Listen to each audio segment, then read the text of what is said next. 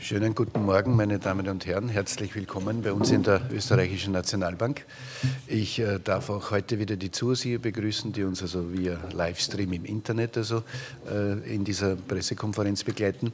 Wir dürfen Ihnen heute unsere jüngste Wirtschaftsprognose vorstellen. Wir, das ist Frau Dr. Ritzberger-Grünwald, die Leiterin, Direktorin unserer Hauptabteilung Volkswirtschaft und an meiner rechten Seite Herr Gouverneur Professor Dr. Nowotny. Wir beginnen wie immer mit den Präsentationen und im Anschluss stehen wir gerne für Fragen zur Verfügung. Herr Gouverneur, bitte. Auch von meiner Seite herzlich willkommen. Ich äh, darf äh, beginnen mit äh, der, dem Bereich des Euroraums. Wir hatten ja gestern die jüngste Prognose der EZB, wobei man immer beim Vergleich sehen muss, das ist jetzt die Revision zum März. Äh, wir hatten ja vorher eine Revision zum äh, Dezember vorigen Jahres und das war der große Einbruch. Also sozusagen äh, da haben wir sozusagen eine massive Runterrevision machen müssen. Jetzt, wie Sie sehen, sind die Werte bis zwischen März und Juni Prognose annähernd gleich geblieben. Das gilt sowohl für das Wachstum von 1,2 Prozent für 2019 und 1,4 für 2020 äh, ist natürlich ein äh, geringeres, ein äh, vergleichsweise geringes Wachstum, beruhend darauf, dass es eben hier eine Reihe von Unsicherheiten gibt. Ich werde auf das im Detail dann noch später kommen. Umgekehrt, es ist aber auch keine Rezession. Wir sehen keine Rezessionsgefahr, aber eben eine Wachstumsgefahr. Abschwächung.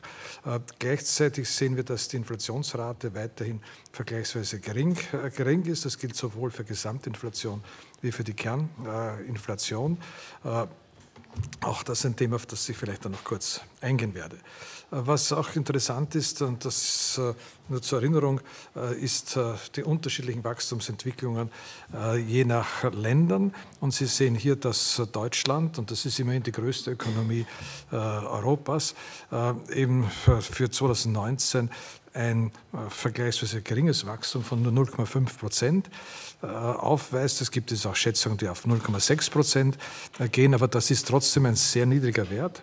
Und eine der entscheidenden Fragen ist die, ist das jetzt sozusagen doch im Wesentlichen durch Sonderfaktoren bedingt? Oder ist das ein Indikator, dass das Wachstumsmodell Deutschlands längerfristig unter Beobachtung zu sehen ist und an seine Grenzen stößt. In der Prognose der EZB, äh, und Sie sehen auch, das ist auch die Prognose unten der Kommission, wird für 2020 wieder ein, äh, ein höheres Wachstum erwartet. Das heißt, man geht davon aus, dass es wieder sozusagen Deutschland äh, äh stärkere Dynamik bekommt. Aber das muss man ganz offen sagen, das ist einer der Unsicherheitspunkte in dieser äh, Prognose. Was ich auch noch hinweisen will, ist die Zahlen für Italien. Sie sehen, das sind Zahlen, die natürlich sehr beunruhigend sind für 2019 0,1. Es gibt inzwischen äh, Prognosen etwa von 0,3, aber in Wirklichkeit habe ich in Italien eben schon Stagnation und zwar schon über viele, über viele Jahre. Äh, Österreich, auf das ich kommen werde, nur im internationalen Vergleich, ist wieder für den gesamten Prognosezeitraum äh, deutlich über den Wachstumsraten der Eurozone, über den Wachstumsraten der EU und noch deutlicher über den Wachstumsraten Deutschlands. Also wir sind im Augenblick in einer vergleichsweise äh, guten äh, Situation. Was ich Sie auch hinweisen möchte, sind die Arbeitslosenquoten, die Sie sehen. Und es gibt eben nach wie vor eine Reihe von Staaten, Italien, Spanien, Griechenland, mit Wachstumsraten deutlich über 10 Prozent. Das heißt aber auch Jugendarbeitslosigkeitsraten von über 20 Prozent. Und es ist klar, dass das natürlich äh, zu politischen Problemen äh, führen kann und auch schon äh, geführt hat. Äh, was das, das Umfeld äh, äh, betrifft, und das ist das, was auch für Österreich interessant äh, ist, möchte ich Sie auf zwei Bereiche hinweisen, die hier speziell interessant sind. Das sind die Annahmen, die ja auch von der EZB hier getroffen wurden. Zunächst einmal die Frage des, des langfristigen Zinssatzes. Äh, Sie haben hier eine Prognose oder eine Annahme eines langfristigen Zinssatzes äh, für 2019 von 0,3, äh, der dann langsam hinaufgeht. Tatsächlich, tatsächlich haben wir jetzt in Österreich, einen, das sind die letzten Zahlen, einen langfristigen Zinssatz für, bei dem 10-Jahres-Bond von 0,08. Deutschland hat sogar einen negativen Zinssatz. Das heißt, Investoren sind bereit, deutsche Anleihen zu kaufen und zahlen dafür einen Zinssatz von 0,23 Prozent.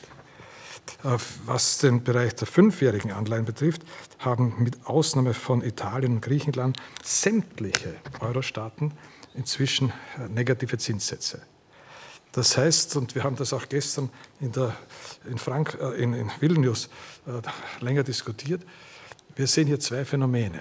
Zum einen ein in der Unsicherheit ein Flight to Quality, also man sucht sozusagen die sicheren Hafen oder Häfen. Das ist äh, Deutschland, das ist auch Österreich. Der Zinssatz für Österreich ist der letzte äh, zehn Jahre 0,08, äh, also für eine zehnjährige Anleihe 0,08 Rendite. Äh, aber das Phänomen ist, dass es eben ein durchgehendes Zins Senkung ist. Und das heißt, dass es äh, auf den Märkten eine Erwartung gibt, langfristig niedrige Inflationsraten und daher eben auch langfristige niedrige Zinssätze. Und das ist schon eine sehr grundlegende äh, Entwicklung, die wir haben und die äh, für die Geldpolitik eine ganz besondere Herausforderung ist, sodass wir diese Zinsentwicklung natürlich sehr genau beobachten. Das Zweite, was ich Ihnen Worauf ich Sie hinweisen will, ist, wenn Sie die unterste Zeile hier betrachten, äh, Welthandel, wo wir wirklich einen dramatischen Rückgang in der Wachstumsrate haben zwischen 2018 und 2019 von 4,1 Prozent auf 1,4 Prozent. Das heißt, und was sich darin ausdrückt, das sind die Entwicklungen der internationalen Handelsbeziehungen, wo wir, ich war, war kürzlich bei einer äh, Sitzung bei der BITS, Bank für Internationalen Zahlungsausgleich, wo sehr deutlich gesagt wird, es ist nicht mehr die Gefahr eines Handelskrieges, wir sind bereits im Handelskrieg. Und es ist nur die Gefahr und die Angst, wie diese Dinge weiter eskalieren. Und das hat natürlich erhebliche wirtschaftliche Effekte.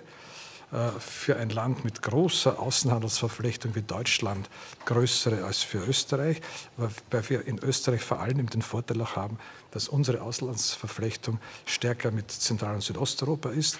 Und wenn Sie sich hier anschauen, äh, die Wachstumsprognosen äh, für die einzelnen Regionen der Welt, so haben wir für Zentral- und Südosteuropa, also EU6, zwar auch eine Verringerung im Jahr 2019, aber immerhin noch ein deutlich höheres Wachstum als äh, zum Beispiel das Weltwachstum insgesamt. Das heißt, wir haben den Vorteil, Zentral- und Südosteuropa ist nach wie vor die Wachstumsregion in Europa, äh, hat weltweit vergleichbare Wachstumsraten äh, und damit ist natürlich für Österreich ein Vorteil aus der geografischen Nähe äh, hier, hier gegeben. Wir haben gestern bekanntlicherweise wir haben äh, gestern bekanntlicherweise äh, eine Reihe von Entscheidungen getroffen im EZB-Rat, die ich nur ganz kurz jetzt hier referieren kann. Wie Sie wissen, wir haben das Ankaufsprogramm ja beendet mit Ende des vorigen Jahres, aber die Ersatzkäufe werden weiter getätigt. Die Zinssätze sind nicht verändert worden. Wir haben dafür die sogenannte Forward Guidance, also die Ankündigung, dass die Zinssätze auf dem aktuellen Niveau äh, bleiben, bis äh, mindestens erste Hälfte 2020 äh, hinaus verlegt. Und das, was wir speziell neu auch haben, ist, dass wir das Instrument der, langfristigen Refinanzierungsgeschäfte, TLTROs, verlängert haben, indem wir an TLTO 2, an TLTO 3 hier anschließen. Ich äh, will das jetzt im Detail gar nicht vielleicht schildern, aber im, Kern geht es darum, dass Banken auf diese Weise äh, Kredite zu sehr günstigen Konditionen bekommen. De facto, wenn sie bestimmte Bedingungen erfüllen über die Kreditvergabe, so bekommen sie eine Subvention. Und in der Vergangenheit mit TLTO 2 haben der weit überwiegende Teil der Banken alle diese Bedingungen erfüllt. Das heißt, es ist in Wirklichkeit, und Sie sehen, die Differenz eben zwischen dem äh, Zinssatz, den Sie zahlen müssen, das ist also 10 Basispunkte derzeit, und dem Zinssatz, den Sie sozusagen, und wenn Sie bestimmte, äh, bestimmte Bedingungen erfüllen, bekommen Sie sozusagen quasi einen, einen, einen Bonus in der Höhe, wie es hier schon Minimalzins, Einlagefazilität plus 10 Prozent, äh, plus 10 Basispunkte. Das heißt, da die Einlagefazilität minus 40 ist, bekommen Sie in der Höhe von minus 30 hier quasi eine Bonuszahlung, also wenn man will, eine Subventionierung der, Kredit, der Kreditvergabe. Das Ganze ist wesentlich auch begründet, dass man vermeiden wollte, restriktive Effekte durch das Auslaufen des vorhergehenden Programmes. Das sind äh, immerhin beim vorhergehenden Programm ungefähr 750 Milliarden, äh, die, um die es äh, hier äh, gegangen, äh, gegangen ist. Daher haben wir, und das sehen Sie auch hier, sozusagen TL, äh, TL3 als sozusagen quasi Anschlussgeschäft an diese, an diese Bereiche. Man rechnet etwa mit einer Kreditinanspruchnahme äh, von Seiten der Banken zwischen 320 und 520 äh, Milliarden. Ich glaube, das ist auch richtig gewesen, dieses Programm äh, weiterzumachen, äh, um eben äh, sozusagen einen abrupten Liquiditätsausfall zu verhindern. Aber ich möchte schon noch deutlich sagen, aus meiner Sicht ist das kein oder sollte das kein permanentes Instrument der EZB sein. Äh, ich glaube, Kreditsubventionierungen oder Bankensubventionierungen sollten nicht ein permanentes Element im Baukasten der EZB sein. Und daher ist es auch richtig, dass äh, DLTR 3 äh, etwas weniger großzügig ist als das Vorgängermodell, um sozusagen hier keinen Gewöhnungseffekt hier aufkommen zu lassen. Das ist jetzt einmal sozusagen die internationale Seite. Für die österreichische Konjunktur sehen Sie nach all den doch eher schwierigen Voraussetzungen, äh, die wir haben, dass sich die österreichische Wirtschaft an sich äh, wacker schlägt in einem schwierigen Umfeld. Wir sehen für 2019 eine äh, Wachstumsrate von 1,5 Prozent, für 2020 von 1,6 Prozent. Das sind natürlich niedrigere Wachstumsraten als im Vorjahr. Aber man muss auch bedenken, äh, dass wenn ich das über zehn Jahre sehe, also über einen etwas längeren Effekt, auch den Zinseszinseffekt äh, hineingehe, ist das noch immer ein gewaltiges reales Wachstum. Also über zehn Jahre ist es etwa 1,16 Prozent äh, Wachstum der realen Wirtschaft. Also 16 Prozent reale Einkommen mehr, 16 Prozent realer Konsum mehr und so weiter. Also man muss schon sehen, auch vergleichsweise niedrige Wachstumsraten haben eine gewaltige Dynamik, gerade auch unter Diskussionen die wir jetzt äh, haben über Wirtschaftsstrukturen, sollte man das nicht äh, außer, außer Acht lassen. Äh, es wird die Kollegin Ritzberger auf diese Bereiche im Detail ja noch, noch eingehen. Ich möchte vielleicht nur noch einen Bereich hier äh, speziell hervorheben äh, und anschließen an eine äh, Diskussion und Gespräche, die ja gestern unsere Freunde vom Fiskalrat auch hier in der Nutzenbank hatten, nämlich äh, zur Frage Budgetsaldo und äh, Schuldenstand. Äh, Sie sehen, dass nach unserer Prognose äh, die Budgetüberschüsse in den folgenden Jahren äh, zunehmen.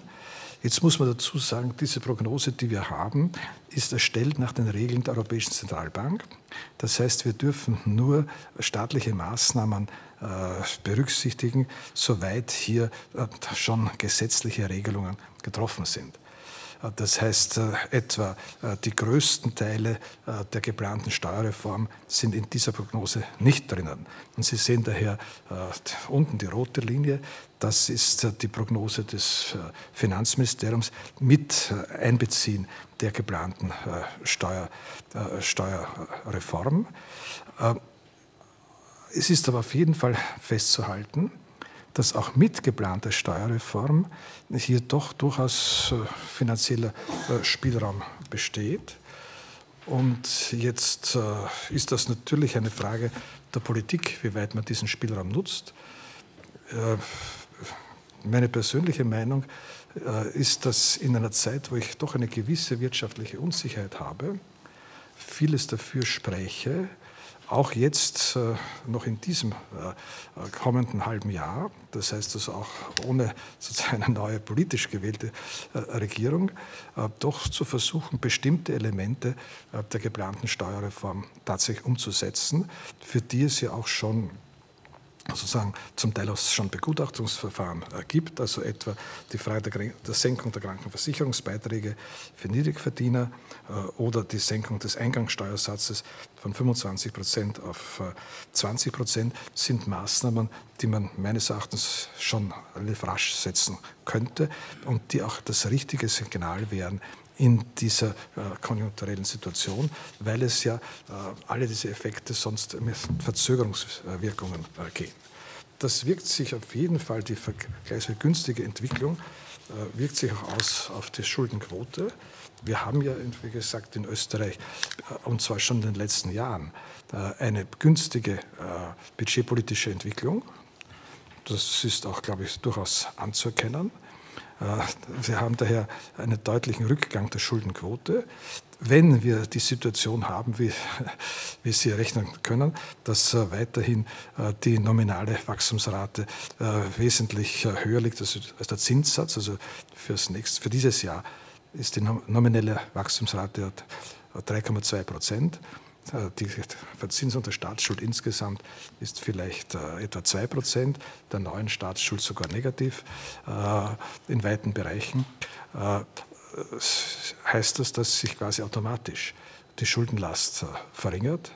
Und das ist auch eine positive Entwicklung, die man auch nutzen sollte. Aber wie gesagt, wo ich aus meiner Sicht im Rahmen dieser Entwicklung durchaus die Möglichkeit sehe, gewisse Elemente einer expansiven Budgetpolitik hier zu nutzen, was ja auch den Empfehlungen äh, der EU-Kommission entspreche. Das als erster Überblick und darf ich weitergeben.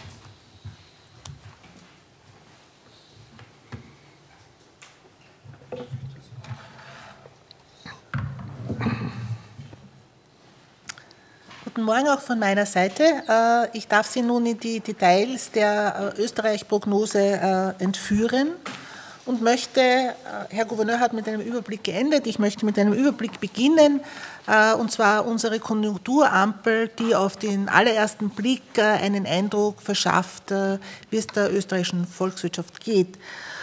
Und da sehen Sie, dass sich auf der rechten Seite, also am aktuellen Rand, einige rote und hellrosa Kastel zeigen, was bei uns bedeutet, äh, hier die ersten Negativmeldungen, die uns jetzt insbesondere aus dem internationalen Umfeld erreicht haben, die natürlich äh, naturgemäß als allererstes die Exporte betreffen und die Industrie gleich mitnehmen.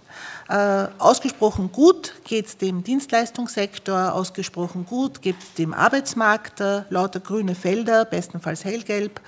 Äh, und die Gesamteinschätzung ist bei Gelb. Das bedeutet, nach zwei Hochkonjunkturjahren, Mitte 2016 bis Mitte 2018, sehen wir hier eine erste leichte Eintrübung. Äh, beginnen wir beim Exportwachstum, äh, wo ja auch die äh, Konjunkturampel uns die ersten roten Felder gebracht hat über die Indikatoren. Und ich möchte Sie mitnehmen auf die Reise zuerst einmal nach unseren Exportmärkten. Das ist die lila Säule 2019 2,5. Also gegenüber dem Vorjahr, gegenüber 2018 bedeutet das doch eine deutliche Verringerung. Das heißt, die Exportmärkte, Herr Gouverneur hat schon gesagt, das internationale Umfeld hat sich in seinem Wachstum deutlich reduziert, äh, ist eben heuer oder wird heuer nur um 2,5 Prozent wachsen. Österreichs Exporte werden nur um 2 Prozent wachsen, äh, laut unserer äh, Prognose. Äh, das bedeutet äh, naturgemäß, äh, wir haben einen geringen Verlust an Marktanteilen in Kauf zu nehmen. Er ist allerdings gering, wie man sieht, also die Differenz zwischen diesen zwei Balken ist, ist durchaus als, als klein zu betrachten. Wenn man jetzt von, ausgehend von diesen 2,5 sich anschaut, wo ist denn dieser Einbruch bei den Exportmärkten passiert, äh, dann kann ich Ihnen diese Grafik mitgeben, die das sehr, sehr schön äh, darstellt. Äh, Sie erinnern sich von vorher die 2,5, das ist jetzt die rechte blaue Säule, Juni 2019. der aktuelle Prognosewert für die Exportmärkte. Und links bei 4,2, das war unsere Prognose im Dezember für eben diese internationalen Exportmärkte. Und diese roten Felder zeigen Ihnen jetzt genau aufgelistet nach Regionen, wo dieser Einbruch, äh, was Österreich betrifft, äh, herkommt.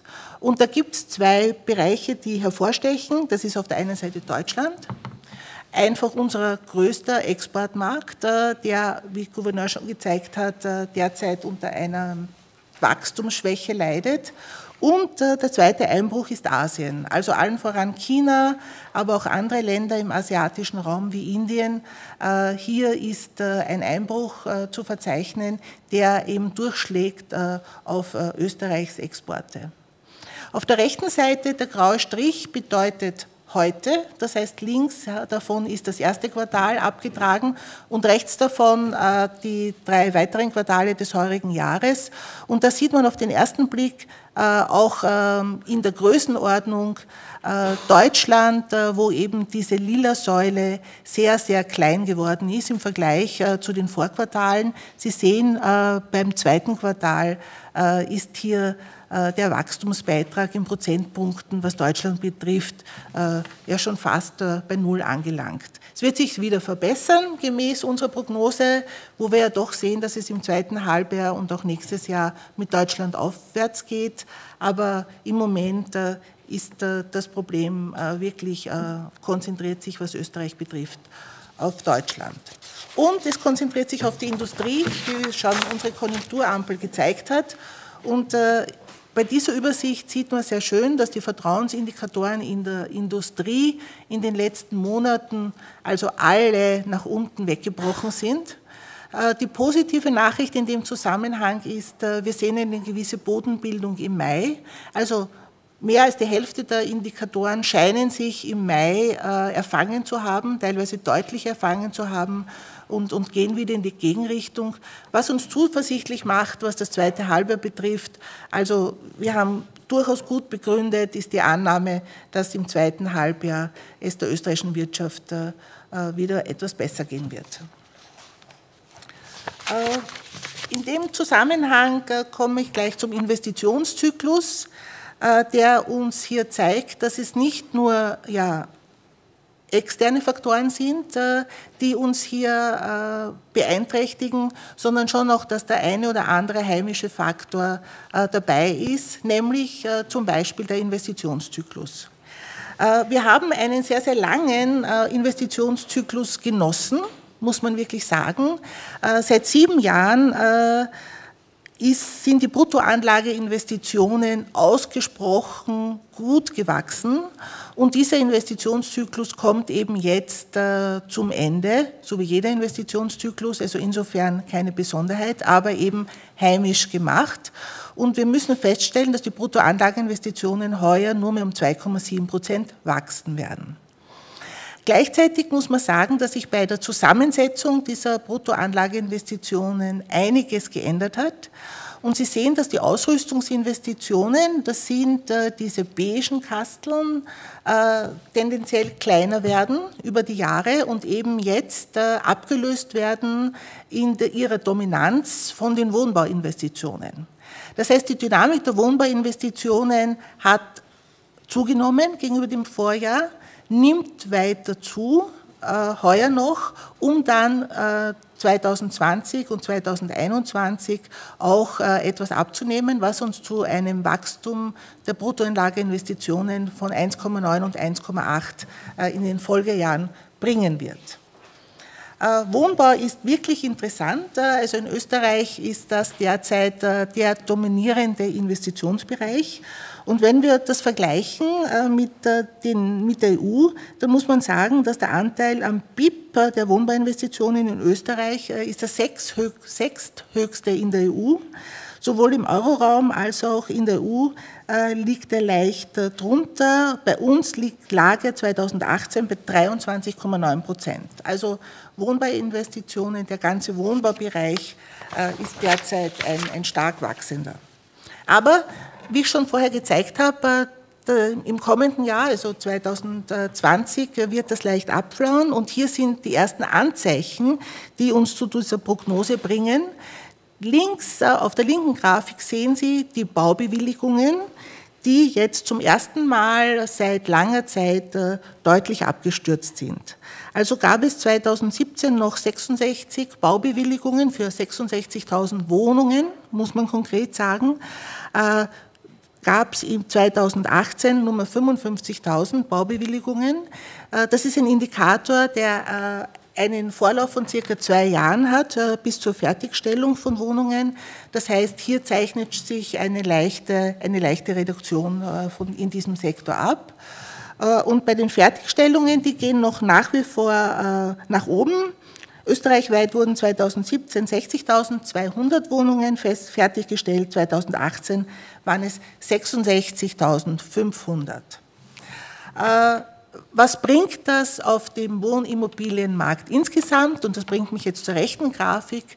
Ähm, es wurde viel gebaut, die Nachfrage war allerdings entsprechend auch hoch und äh, im Moment schaut so aus, dass diese fehlenden Wohnungen, äh, die ja auch äh, ein wichtiger Faktor beim, als Preistreiber aufgetreten sind, also hatten wir 2016 noch 64.000 fehlende Wohnungen. Das ist dort, wo diese blaue Linie rechts ihren Höhepunkt findet. Gab es 2018 nur mehr 31.000 fehlende Wohnungen. Und 2020, also im kommenden Jahr, wird dieser Nachfrageüberhang weitgehend abgebaut sein. Allerdings nur in Österreich, das ist eine Österreich-Grafik. In Wien äh, werden wir äh, diesen Nachfrageüberhang äh, auch 2020 noch haben. Lassen Sie mich nun zum privaten Konsum kommen. Das ist jetzt wirklich eine gute Nachricht. Der private Konsum ist nach wie vor eine wichtige Stütze der Konjunktur. Seit 2016 ist das so. Der private Konsum stellt eine tragende Säule des BIP-Wachstums in Österreich dar. Äh, linke Grafik, lassen Sie, sich, lassen Sie mich mit dem Haushaltseinkommen äh, beginnen. Äh, das ist oder das wird heuer um 2,2 Prozent wachsen und damit ähnlich stark wachsen wie im Vorjahr 2018. Da war das Wachstum der äh, privaten Haushaltseinkommen noch bei 2,4 Prozent gelegen. Also nur eine kleine Verringerung. Der private Konsum wird ähnlich stark wachsen wie im Vorjahr, heuer mit 1,6 Prozent prognostiziert, dieses Wachstum letztes Jahr auch bei 1,6 Prozent gelegen. Äh, das heißt, privater Konsum eine nach wie vor tragende Säule. Äh, woher kommt dieses starke Wachstum äh, der real verfügbaren Haushaltseinkommen? Und das zeigt Ihnen die rechte Grafik, wo Sie 2019 ganz eindrucksvoll eine fast die, die gesamte Wachstumsrate dominierende blaue Säule sehen. Und das sind die Arbeitnehmerentgelte, äh, wobei dahinter stecken die relativ hohen Lohnsteigerungen, die wir heuer erfahren. Also die Lohnabschlüsse 2019 werden bei plus 2,9 Prozent zu liegen kommen. Das ist ein leichtes Plus gegenüber dem Vorjahr, wo sie schon bei 2,6 Prozent zu liegen kamen, entspricht aber eben wirklich der sehr guten Konjunktur, die wir derzeit erfahren. Und Lohnabschlüsse, da gibt es immer einen gewissen Lag, weil sie basieren in der Regel auf äh, der Produktivität und der Inflationsentwicklung des Vorjahres. Äh, zurück noch ganz zur linken Grafik, weil da finden wir auch die Sparquote, die uns erklärt, warum äh, der private Konsum auch in den kommenden beiden Jahren recht stark sein wird und das Wachstum in Österreich stützen wird, äh, weil nämlich trotz ein bisschen weniger real verfügbarem Haushaltseinkommen die Österreicher entsparen ein bisschen. Also die Sparquote wird von 7,6 Prozent auf 7,2 Prozent äh, sinken. Äh, dort kommt äh, der nach wie vor starke private Konsum her. Zum Arbeitsmarkt. Da gibt es eine weitere gute Nachricht. Und zwar die gute Nachricht lautet, dass Österreich, was den Arbeitsmarkt betrifft, wieder in die europäische Oberliga zurückgekehrt ist. Äh, es gibt 2019 nur drei Euroraumländer, die eine niedrigere Arbeitslosenquote als Österreich ausweisen werden. Das sind Deutschland, Holland und äh, Malta. Äh, und dann kommt schon Österreich. Das war für einige Jahre nicht so, wie Sie wissen. Da sind wir ziemlich abgestürzt und haben uns nur im Mittelfeld befunden mit unserer Arbeitslosenquote. Nun sehen wir 4,7 äh, Prozent für heuer und auch für die kommenden Jahre, was uns wieder ins Vorderfeld bringt. Die Beschäftigung, äh, die ja hier eine wichtige Determinante ist, ist in den letzten beiden Jahren um je 1,7 Prozent gewachsen und wird auch heuer etwas niedriger um 1,3 Prozent wachsen. Das Arbeitsangebot bleibt hoch. Das, ist, das Arbeitsangebot ist jetzt die grüne Säule und die wird sich von 2018 bis 2021 relativ konstant bei einer Wachstumsrate von um die 1,1 Prozent äh, bewegen. Ähm, abschließend noch ein paar Worte zur Inflationsrate. Äh, unser Beitrag zur Preisstabilität die Inflationsrate in Österreich wird heuer 1,7 Prozent betragen, auch in den kommenden beiden Jahren bei diesen 1,7 Prozent verharren. Äh, getrieben wird diese Inflationsrate, die höher ist als jene im Euroraum, vor allem von den Dienstleistungen, vom Dienstleistungssektor, wie man an diesen sehr großen äh, gelben äh, Anteilen an den, an den Säulen sieht. Entspannung kommt diesbezüglich von der Energie. Äh, da sehen wir die eine oder andere Energiepreisreduktion. Das sind die orangen Balken, die den negativen Bereich zeigen. Und das ist auch der Grund dafür, warum die Kerninflationsrate leicht höher sein wird äh, als die Headline, also die HVBI, die harmonisierte Verbraucherpreisindex Inflationsrate, sowohl heuer als auch in den kommenden beiden Jahren. Das war es von meiner Seite und damit darf ich wieder zurückgeben an unseren Pressesprecher, Herr Gutlederer. Dankeschön. Frau Dr. Ritzberger, für die äh, Ausführungen. Dankeschön, Herr Gouverneur. Ich darf Sie nun einladen, Ihre Fragen an uns zu richten. Ich äh, möchte Sie bitten, dass Sie warten, bis äh, meine Kollegin bei Ihnen vorbeikommt mit dem Mikrofon, damit also auch die Zuseher im Internet also die Fragen hören können. Bitte sehr. Wer hat die erste Frage? Frau Kischko-Kurier, Irmgard, bitte. Dankeschön. Herr Gouverneur, Sie haben angesprochen, Sie hätten gern äh, Teile der Steuerreform ähm, noch erledigt, bevor dann wieder ganz eine neue äh, Regierung kommt. Warum gerade diese Teile? Es gibt ja auch andere wie Köstsenkung oder so. Warum, äh, ja, Sie haben gesagt, die niedrigen Einkommen. Ja? Ähm, zunächst einmal, es ist richtig, ich glaube, äh, die Steuerreform die ja konzipiert war, äh, äh, bevor diese Regierung äh, auseinandergegangen ist, hat sozusagen verschiedene Stufen, die war ja von vornherein in Stufen angelegt. Und ich denke, dass es vernünftig ist oder naheliegend ist, mit diesem Stufenprogramm quasi dabei zu bleiben. Das heißt quasi mit den ersten Stufen zu beginnen, weil natürlich im weiteren Verlauf sicherlich dann auch die äh, politischen Überlegungen einer neuen Regierung zu berücksichtigen sind. Aber ich glaube, dass über diesen ersten Stufen ein breiter Konsens wahrscheinlich besteht, sodass ich mir davon ausgehe, dass hier Mehrheiten im Parlament möglich sein sollten. Wir haben als Notenbank ja diese Steuerreform äh, begrüßt, weil sie konjunkturell richtig ist, gleichzeitig aber in einem Ausmaß, das nicht die Stabilitätsentwicklung äh, beeinflusst. Äh, und ich glaube daher, dass es in gesamtwirtschaftlicher Perspektive sinnvoll wäre, so quasi diese erste Stufe zu zünden. Und das sind auch Größenordnungen, die doch groß genug sind, um auch konjunkturell eine Stabilisierung zu haben. Dankeschön. Frau Graf, bitte, Salzburger Nachrichten. Wie sicher ist angesichts der vielen Unsicherheiten, die Sie angesprochen haben, diese Prognose? Was passiert, wenn die Steuerreform nicht kommt? Was passiert, wenn äh, die, der Handelsstreit eskaliert? Was passiert, wenn Italien die Entwicklung so weitergeht, wie sie sich jetzt abzeichnet? Ja, das ist leider eine sehr gute Frage, äh, weil in der Tat, und ich habe das äh, auch am Anfang gesagt, äh, wir sind jetzt in einer Situation, wo es besonders viele Unsicherheiten gibt.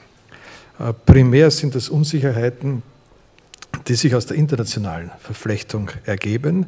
Und zwar gilt das sowohl für den Euroraum insgesamt wie für Europa.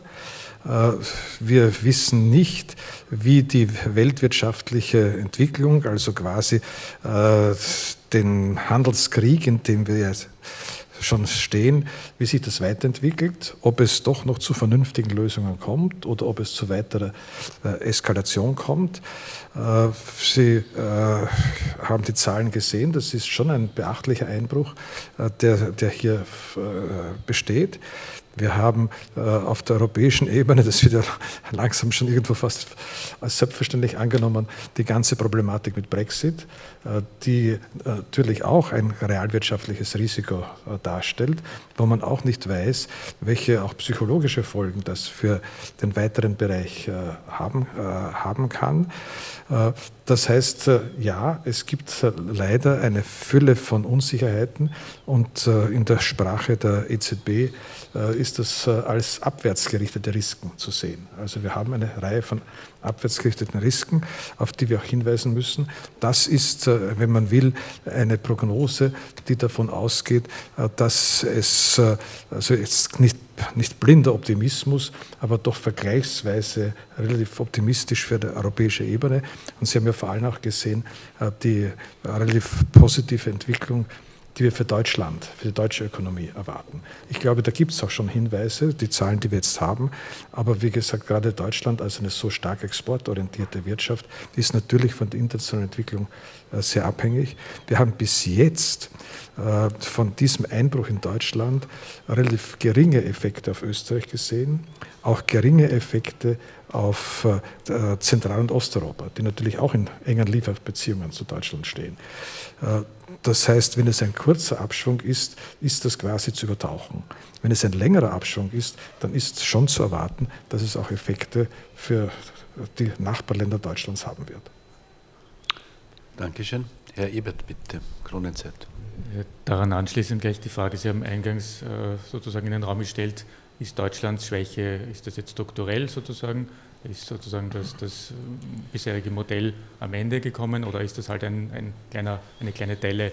Also aus Ihren letzten Worten entnehme ich, dass Sie eher damit rechnen, dass es ein, ein, eine temporäre Schwäche und nicht ein, ein grundlegendes Problem, das sich dort abzeichnet. Äh, das ist eine große Diskussion. Also wie gesagt, wir selber in der Prognose gehen von äh, einer äh, quasi mild optimistischen Variante her aus. Aber es ist gar kein Zweifel, dass das ganz, wenn man will, traditionelle Wirtschaftsmodell Deutschlands in dieser Form nur mehr sehr schwer fortsetzbar ist, nämlich auf massiven Leistungsbilanzüberschüssen äh, aufzubauen. Deutschland hat ja Leistungsbilanzüberschüsse von sieben bis acht Prozent in den letzten Jahren gehabt. Äh, das ist einerseits ein Zeichen der großen Wettbewerbsfähigkeit. Deutschlands, aber eben andererseits auch ein Zeichen, äh, dass es sehr stark abhängig ist von der Entwicklung eben der Abnehmerländer seiner Exporte. Und diese Abhängigkeit zu verringern, ist ja auch eine Zielsetzung äh, der deutschen Wirtschaftspolitik. Das heißt ganz konkret äh, eine Stärkung des, des Binnenkonsums, sei es jetzt äh, in Bezug auf private Haushalte, etwa durch Formen einer Steuersenkung, sei es in Bezug auf öffentliche Haushalte, indem ich eben Infrastrukturprogramme entwickle, damit auch vielleicht die langfristigen Wachstumschancen verbessere. äh, indem ich eben mehr investiere in Forschung und Entwicklung, mehr investiere in funktionierende Infrastruktur. Also ich äh, glaube schon, die deutsche Diskussion geht sehr stark in diese Richtung, dass man natürlich die Stärken erhalten will, aber gleichzeitig sieht, dass man hier doch gewisse Strukturveränderungen braucht. Äh, das wird auch für Österreich von Bedeutung sein. Wir sind ja vergleichsweise nicht so exportabhängig. Wir haben, Sie haben das gesehen, ein Leistungsbilanzüberschuss, aber der in der Höhe 2 bis 3 Prozent längerfristig äh, sich bewegt. Das ist im Prinzip eine äh, gesunde äh, Relation. Aber klarerweise ist die langfristige Voraussetzung, äh, dass man auf der einen Seite äh, wirtschaftsnahe und wirtschaftsrelevante Forschung fördert, ein, ein wichtiger Punkt, dass die Infrastruktur bestens funktioniert und dass man, wenn man es sich leisten kann, und in einem gewissen Maß kann man es sich auch leisten, auch den privaten Konsum steigert. Dankeschön. Frau Filitz, bitte, ORF. Ähm, Herr Gouverneur Nowotny, ähm, ich habe eine Frage zur Reform der Bankenaufsicht, die ja jetzt abgesagt wurde.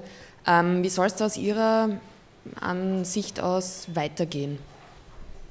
Soll die abgesagt bleiben? Soll sie anders kommen? Ähm, was würden Sie da sich wünschen?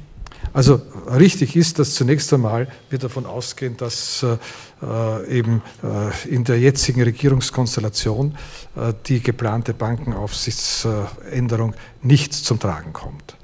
Äh, das heißt aber nicht, dass es auf alle Zeiten äh, quasi abgesagt ist. Und wir sehen das als Notenbank als eine Chance und auch als eine Herausforderung, eben von unserer Seite her hier noch entsprechende Modelle äh, darzustellen. Äh, es hat ja auch für die geplante Aufsicht eine Reihe von Stellungnahmen gegeben, zum Teil durchaus sehr kritische Stellungnahmen, etwa von Seiten des Rechnungshofes, auch von Seiten des Internationalen Währungsfonds. Äh, die Perspektive, die ich sehe, ist, dass man sich auf die Stärken besinnt, äh, die wir äh, international haben, nämlich äh, ein quasi Vier-Augen, Vier-Augen-Prinzip, so wie es in Deutschland ist. So wie in Deutschland gibt es ja so zwei Bereiche, nämlich die Bundesbank und die BaFin, also quasi die deutsche Finanzmarktaufsicht, die das in einer Art Vier-Augen-Prinzip machen. Ich halte das für sinnvoll. Ich glaube, gerade für so einen sensiblen Bereich wie Bankaufsicht ist so ein quasi gegenseitige Kontrolle und auch gegenseitige Unterstützung sehr sinnvoll. Das geht umso mehr natürlich auch in Bezug auf die FMA selber. Ich glaube, äh, die äh, Idee, hier nur einen einer Vorstand zu haben, ist eine Idee gewesen, die allgemein politisch kritisiert wurde und die auch sehr gefährlich äh, erscheint. Also ich glaube, das sollte nicht heißen, dass man sich jetzt einer Reformdiskussion entzieht, aber dass man aus der bisherigen Diskussion doch Schlüsse zieht und dann zu einem, glaube ich, langfristig akzeptierten und funktionierenden Modell kommt. Das heißt, äh, wenn ich das richtig verstehe, die Bankenaufsicht soll quasi geteilt werden zwischen der Nationalbank und der Finanzmarktaufsicht? Ja, das haben wir ja derzeit auch zum, äh, im Prinzip, äh, wo also eben die Notenbank äh, die sogenannte Vorortprüfung hat, das heißt also unmittelbar den Banken ist und die FMA die rechtliche Seite. Und das entspricht auch ungefähr dem deutschen Modell. Ich glaube, das ist auch eine vernünftige äh, Teilung. Da kann man natürlich jetzt äh, gewisse Doppelgleisigkeiten noch immer verbessern. Aber ich glaube, das Modell als solches hat sich äh, bewährt. Und jede Alternative, das bei einer Seite zu konzentrieren, bringt nur wieder zusätzliche äh, Schnittstellen, speziell wenn ich das bei der FMA konzentriere, wo ja der Haupt, die Haupttätigkeit äh, der Bankaufsicht in der ÖNB gemacht wird und diese Haupttätigkeit zu verlagern in eine Organisation, wo ein viel kleinerer Bereich ist, also bei uns etwa 200 Leute und dort vielleicht 60 Leute, ist auf jeden Fall eine administrativ äh, sehr teure und, glaube ich, nicht sehr effiziente Variante. Also ich denke, man kann hier Modelle sich international orientieren und ich glaube, Österreich sollte hier keinen äh, sozusagen vielleicht auch politisch bedingten Sonderweg gehen, sondern sich an, an der Best Practice orientieren. Dankeschön. Herr Svetli, bitte. Einige Fragen, aber ich äh, möchte in erster Linie auf Ihre Empfehlung an die jetzige Bundesregierung bezüglich äh, der Umsetzung der ersten Stufen der Steuerreform. Also ich weiß die Stufenregelung, aber ich weiß im Moment nicht, oder das ist meine Frage, welchen Umfang würde das haben? Weil es geht ja, wenn ich mich recht erinnere, darum, und ich nehme an, das haben Sie sozusagen äh, zwischen den Zeilen auch gemeint, äh, die Unterstützung äh, des Inlandskonsums, der die Konjunktur aufrechterhält. Das ist ja, glaube ich, der wesentliche Anker Ihrer Empfehlung. Äh, also mich interessiert, welches Volumen würde das bedeuten? Und zweitens, gibt es, hat diese Regierung das Pouvoir, diese Dinge zu tun oder braucht sie politische Anweisungen dazu? Also es ist so, dass ähm, wir haben diese Volumina, aber du kannst sie dann vielleicht übersetzen in absolute Zahlen. Äh, die Senkung des Eingangssteuersatzes von 25 Prozent auf 20 Prozent, das würde ja dann im Jahr 2021 erfolgen, äh, ist etwa 0,3 Prozent des BIP. 0,3 Prozent äh, des, des BIP. Also das ist schon eine Größenordnung, mit der man gesamtwirtschaftlich etwas anfangen kann. Und, und die Frage bei der Krankenversicherungsbeiträgen, äh, also Senkung der Krankenversicherungsbeiträge für Niedrigverdiener, das ist in einer Höhe von minus 0,2 Prozent des BIP. Also insgesamt sind das dann schon äh, äh, Größenordnungen, die zu einer gewissen positiven Impuls geben. Und die umgekehrt aber auch, das ist schon auch immer wichtig, die umgekehrt die Stabilität des Budgets nicht gefährden. Weil ich möchte mich auch in dem Sinn anschließen, durchaus einer äh, Empfehlung äh, des Fiskalrates. Äh, was nicht geschehen darf, ist, dass jetzt quasi im freien Spiel der Kräfte äh, willkürlich Geschenkpakete äh, ausgeteilt werden. Also ich glaube, man sollte hier wirklich in fiskalischer Disziplin sein, aber das muss nicht heißen umgekehrt jetzt, dass ich gar nichts machen darf.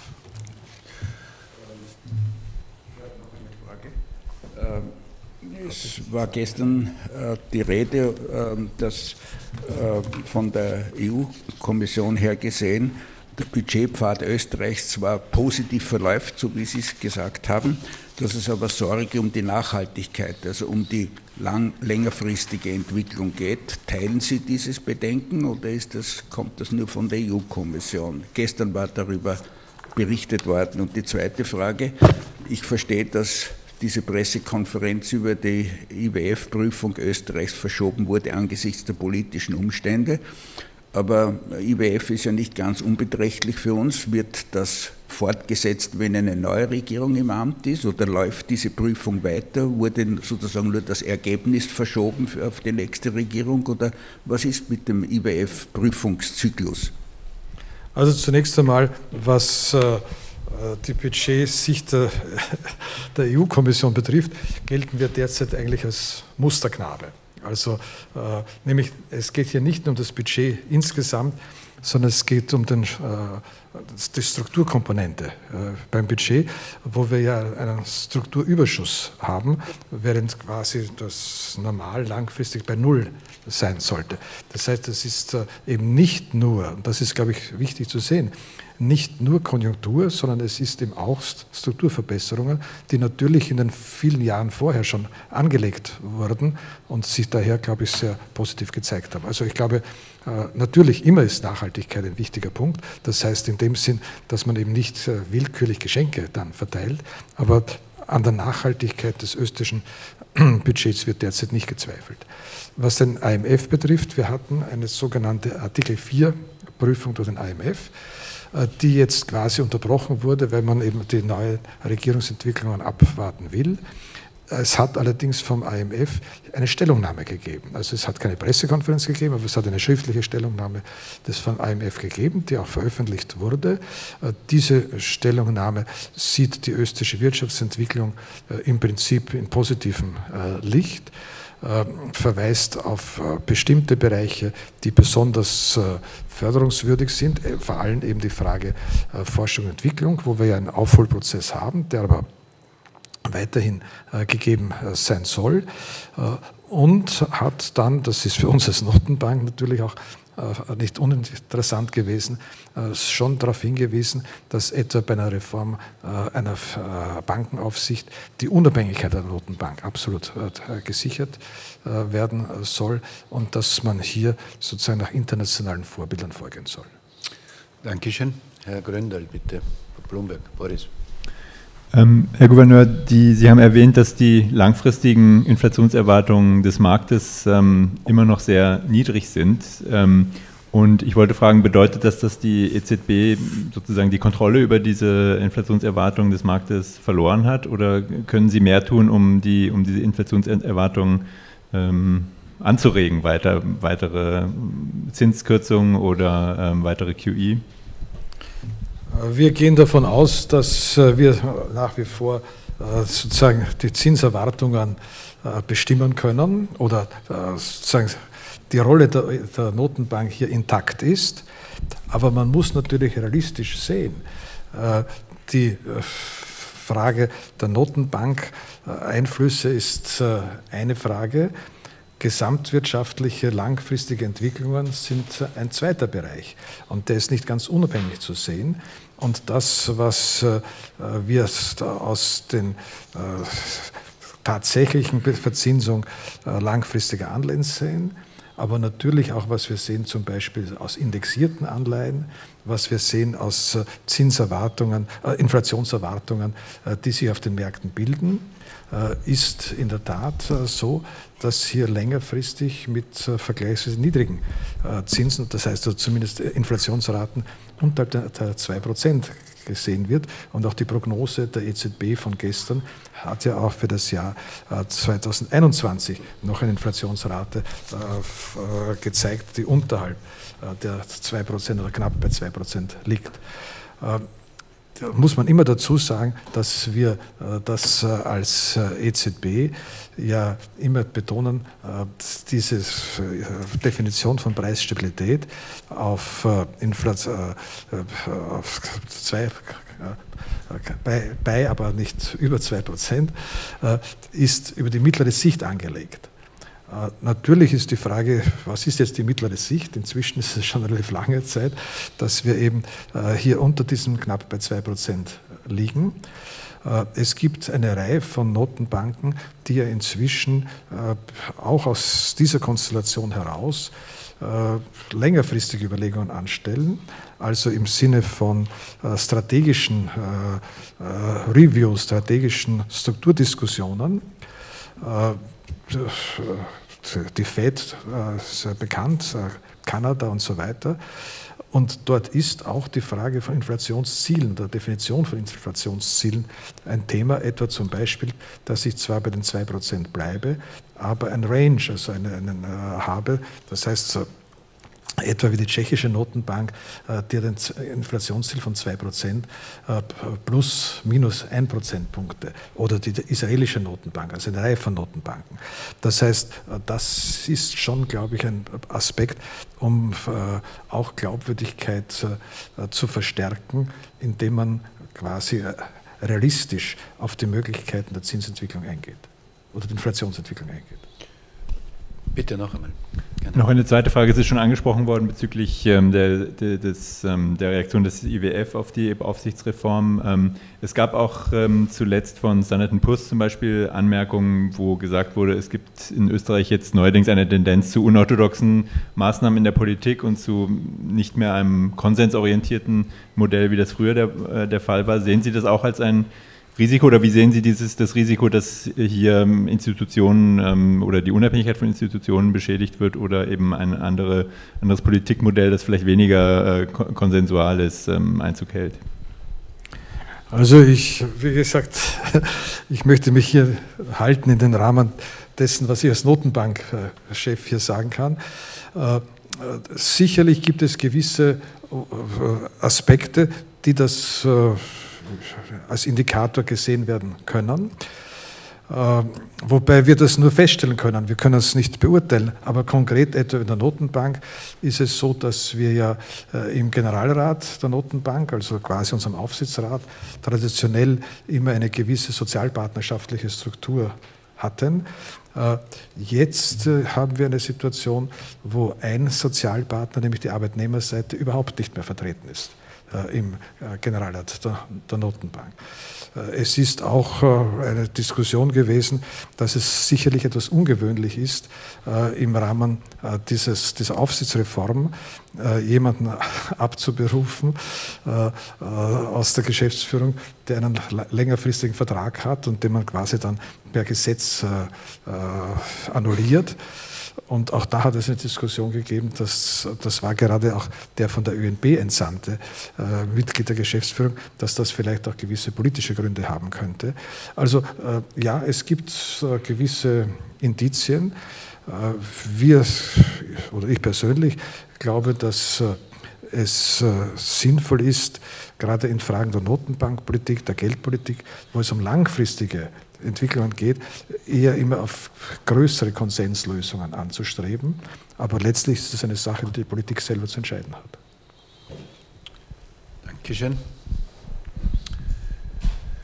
Ich äh, sehe nun keine Wortmeldungen mehr. Dann darf ich diese Pressekonferenz beschließen. Ich darf Ihnen danken für Ihr Kommen und ich wünsche Ihnen noch einen schönen Tag. Auf Wiedersehen.